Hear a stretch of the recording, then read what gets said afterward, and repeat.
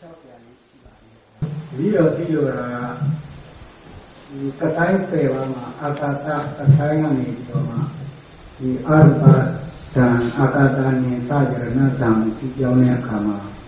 အဲ့ဒါအာကာသရင်းကထပ်နေတဲ့အတွက်ကြောင့်တချို့ကအဲ့ဒါကိုကြည့်လို့မရဘူးကိုယ်ကပဲကတိုင်းကိုမျိုးပဲကြည့်လို့ရတယ်အာကာသနဲ့သာရဏတံကတော့အာကာအာ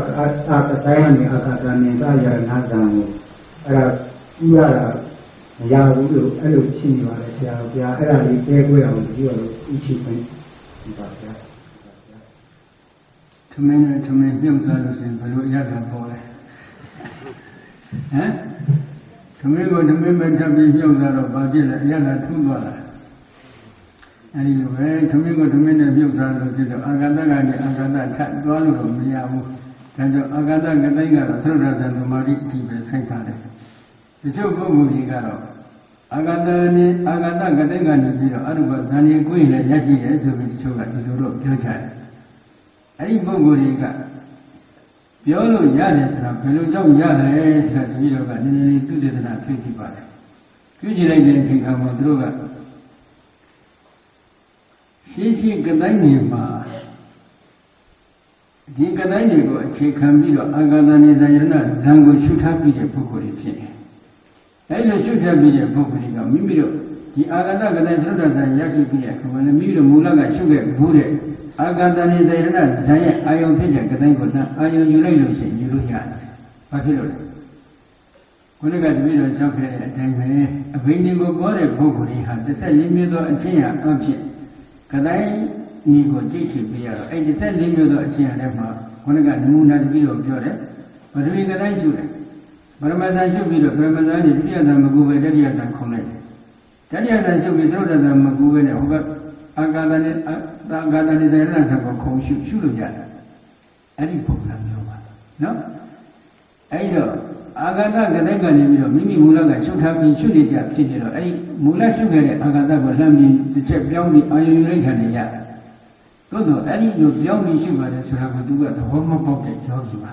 အဲ့လိုသဘောမပေါက်တဲ့အတွက်ကြောင့်အာဂတကလေးကနေအာဂတနေစေရဏကကိုကုလည်းရတယ်ဆိုပြီးသူကညင်းနေခြင်းသာဖြစ်ပါတယ်တကယ်တော့မရပါဘူးနော်နောက်တစ်ခုကတော့ဒီနေရာမှာယောဂီတယောက်ကမေးတယ်သရဏဇာလည်းဝင်စားနေတယ်အတန်ဒီကလည်းကြားနေတယ်ဒါဘယ်လိုလုပ်မလဲတဲ့တကယ်ဘယ်လိုလုပ်မလဲဟမ်အဲ့ဒါကတော့သူသံသမာတိစွတ်အင်ကနည်းနည်းလေးအားပြောတဲ့သဘောပါ ဒီဝိတ္တဇာကြောင့်လည်းဖတ်တယ်ဒီစိတ်ဝင်စားပဲကောင်းတာကတော့အရှင်မမောက္ခမထေရမြတ်ဖြစ်ပါတယ်ရှင်မမောက္ခမထေရမြတ်ကယန္တာဖြစ်တော်မူပြီးတဲ့နောက်လို့ယူဆရပါတယ်နော်ဘာဖြစ်လို့လဲသောတာပန်ကြီးတော်မူပြီးတဲ့နောက်သောတာပန်ဖြစ်တော်မူတဲ့ထိုနေ့မှာပဲအရှင်သတိဗုဒ္ဓအလောင်းရဖြစ်တဲ့ဥပဒိတပရပိုက်နဲ့အရှင်မမောက္ခလအလောင်းရဖြစ်တဲ့ကောလိတပရပိုက်တို့ကမိမိတို့နောက်နဲ့တစ်ပတ်250ကိုခေါ်ဆောင်ပြီး ဝေလုံကျောင်းတော်ကိုသွားပြီးတော့ရှင်ဟန်ပြုကြပါတယ်အားလုံးအေးဘေကုယဟန်ဖြစ်တဲ့ထိုညနေမှာပဲဘုရားရှင်ကသစ္စာရိပါနဲ့ဆက်တဲ့တရားစကားတွေကိုဟောကြားတတ်တာသုသုံးမှပြတော်မူတဲ့အခါနောက်လိုက်တစ်ပတ်250ကအကုန်လုံးအရဟတဖို့တည်သွားကြတယ်။လွယ်ဆကြီးလားလို့ဒီလိုမထင်နဲ့နော်လွယ်အောင်သူတို့ညွှန်သခဲ့တဲ့အတိတ်ကြောင့်ရှိကြပါတယ်။ ဒီတော့စေတနာဘုရားကနောက်ထပ်15ရက်အနုဘရဓမ္မဝိပဿနာနည်းကိုအခြေခံပြီးဝိပဿနာဘာဝနာကမ္မဋ္ဌာန်းကိုသိခံခဲ့ရတယ်။အရှင်မမောက္ကလံကိုရမြတ်ကနောက်ထပ်9ရက်ကာလဝါလဗုဒ္ဓခေါ်တဲ့ရွာလေးပြသွားပြီးတော့ဆုံးခံရအပြည့်နဲ့အမိပြပြီးတောတခုအတွင်းမှာတရားဘာဝနာသိခံတော်မူပါတယ်။မအိပ်ပါဘူး။9ရက်တည်းနဲ့မအိပ်တော့9ရက်မြောက်နေ့မှာပြမနွမ်းနေတော်မူတဲ့အတွက်တရားထိုင်ရင်ဖြင့်ဉာဏ်ဥမှာငိုင်းပြီးနေတာကိုဘုရားရှင်မြင်တော်မူတဲ့အတွက် ဒီကုတ်တော်တတ္တကနိဗ္ဗာန်မနာရှိတဲ့သလယမန္တသုဒ္ဓကိုဟောကြားပြီးတော်မူခဲ့ပါတယ်။ထိုသုဒ္ဓကိုနာကြားပြီးတဲ့နောက်ဘုရားရှင်ထိုသုဒ္ဓမှာလာတဲ့ညွှန်ကြားတော်မူသည့်အတိုင်းဘိညာဉ်ရဲ့အခြေခံဖြစ်တဲ့အထွတ်တမဲ့ဒီပဇက္ခုရဲ့အဘိညာဉ်ရဲ့အခြေခံဖြစ်တဲ့သရုပ်ဒသသမာဓိအလင်းရောင်ကိုဝေသားပြီးတော့နေ့ညတစ်ဆက်ချက်လင်းနေအောင်ဒိဋ္ဌာတော်မူကားဝိပဿနာဘာဝနာကမ္မဋ္ဌာန်းကိုဆက်လက်သိပြန်တော်မူတဲ့အတွက်ထိုနေ့မှာပဲအတ္တကိုတည်သွားတော်မူခဲ့ပါတယ် ရတ္တကိုတည်တော်မူပြီးနောက်မှသူကရာဇုပ်ကိုပြန်လာခြင်းဖြစ်တော့ရာဇဂျိုသဘောဓာမြင့်ရဲ့ကံကြီးလို့ဒီလိုတော့ဖော်ပြထားပါတယ်ဒီသဘောဓာမြင့်ကိုပြီးလို့ရာဇဂျိုသွားတဲ့အချိန်ခါတော့ဘုအချိန်ခါမှာတော့သိမတွေ့ခဲ့ပါဘူးဘယ်နေရာမှာတည်ရှိလဲဆိုတော့ဒီလိုလည်းအတိအကျတော့မပြောနိုင်ပါဘူးထူးခြားချက်ဒီမှာပြောနေတာကအရှင်မောက္ကဂရောမြတ်ကအဲ့ဒီသဘောဓာမြင့်ကမ်းပါမှာ အာနိဇသမပတ်ခေါ်တဲ့ဒီသံသမာဓိတွေကိုဝင်စားနေတာ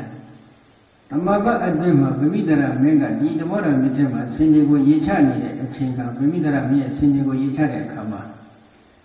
ဆင်ခြေတစ်ကောင်နဲ့တစ်ကောင်တိုးဝေးလို့အော်မြည်တဲ့အတန်တွေကိုဓမ္မပတ်အတွင်းမှာသူကကြကြနေတယ်။ဒီကြားနေတဲ့အချိန်နဲ့ပတ်သက်ပြီးတော့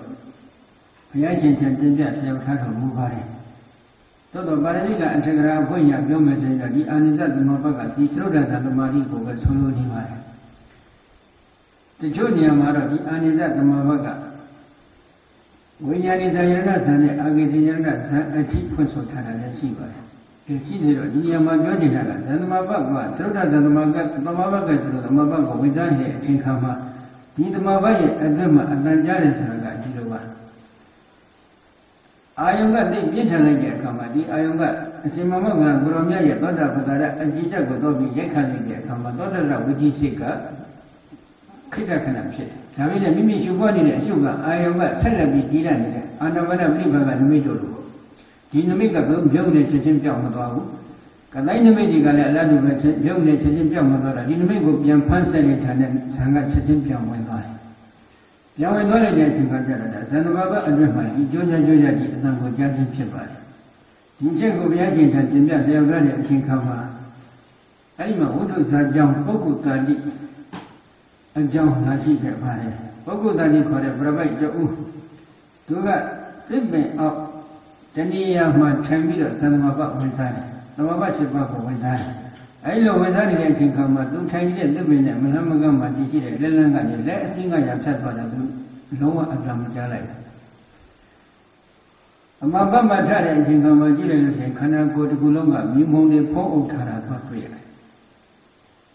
ဒီကြောင့်ကမဟာပရိနိဗ္ဗာန်မဟာပရိနိဗ္ဗာန်သုတ္တမှာလာရှိထားပါဒီကြောင့်ကတော့မဟာပရိနိဗ္ဗာန်သုတ္တမှာလာရှိပါတယ်ဒီချက်ချက်ပတ်သက်ပြီးတော့ဘုရားရှင်က မိမိရဲ့သမာဓိကိုထပ်ပြီးဟောပြတာကတောအုပ်တစ်ခုအတွင်းလို့ယူဆပါတယ်နော်အဲဒီတောအုပ်တစ်ခုအတွင်းမှာဘုရားရှင်ကဈဉ္ညာလျှောက်တော်မူတယ်တောအုပ်ရဲ့ပတ်ဝန်းကျင်မှာလက်ခင်းကြည့်ရလဲလဲတော်ယောက်ျားကလက်ထွန်နေတဲ့အချိန်ဖြစ်တယ်ခုလိုမဟုတ်ကြအခါမိုးတို့ကပြစ်ချလိုက်တော့လဲတော်ယောက်ျားနဲ့နွားတွေစိတ်ကြီးအဲ့ဒီမသေးသွားတယ်အဲ့ဒီမိုးတို့ပြစ်လိုက်တဲ့အတန်ကိုဘုရားရှင်ကဈဉ္ညာကြွတော်မူရင်ဓမ္မပဝင်စားနေတယ် အဲ့အတန်ကိုလုံးလုံးမချလိုက်ဘူးဒါသမာဓိဒီဂရီပေါ်မှာမိတယ်ဆိုတဲ့အဖြစ်ပဲပါနော်ဘုရားသရုပ်ရသံဆိုတာကဖြစ်ခြင်းလည်းဖြစ်မယ်သို့တော့သရုပ်ရသံအတုအယောင်လည်းဖြစ်ခြင်းဖြစ်မယ်အတုအယောင်ဆိုတာကသရုပ်ရသံမရောက်ဘဲနဲ့မိမိကသရုပ်ရသံလို့ထင်လို့ဖြစ်ခြင်းလည်းဖြစ်တတ်ပါတယ်အကယ်တကယ်သရုပ်ရသံသမာဓိဖြစ်ရင်လည်းရှင်မမောက္ခလကိုရုံမြတ်ကဲ့သို့အာယုရဲ့ရိုက်ခံမှုကအကောင်းနေရင်ဒီအတန်ကိုလည်းသွားချက်တဲ့ကြားခြင်းလည်းချက်တတ်ပါတယ် သို့တော့အတန်ကြတဲ့ကသံသမာဓိမဟုတ်ပါဘူးဇံကခိကချလိုက်တဲ့အချိန်ကမှသောတာဒရဝိจิစိတ်အစဉ်ကြီးဖြစ်တယ်။ပြီးတော့မှဇံကိုထပ်ပြီးဒီအာယုဇံရဲ့အကျုပ်ကအာယုကထင်ရှားရှိနေသေးတဲ့အတွက်ပြန်ပြီးဇံဝင်စားလိုက်ခဲ့မယ်ဆိုရင်ချက်ချင်းလွယ်လွယ်ကူကူစက္ကန့်ပိုင်းတစ်ပတ်ဇံကဝင်စားလို့ရတယ်။ဒီသဘောသာဖြစ်ပါတယ်နော်။ကဲ